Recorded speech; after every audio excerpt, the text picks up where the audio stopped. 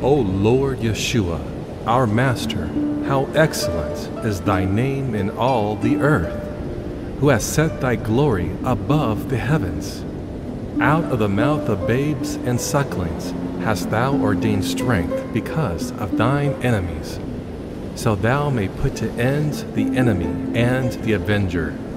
When I consider thy heavens, the work of thy fingers, the moon and the stars, which thou hast ordained, what is man that thou art mindful of him, and the Son of Man that thou visitest him? For thou hast made him a little lower than the angels, and hast crowned him with glory and honor.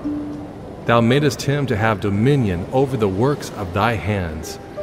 Thou hast put all things under his feet all sheep and oxen, yea, and the beasts of the field, the fowl of the air, and the fish of the sea, and whatsoever passeth through the paths of the seas. O Lord Yeshua, our Master, how excellent is thy name in all the earth.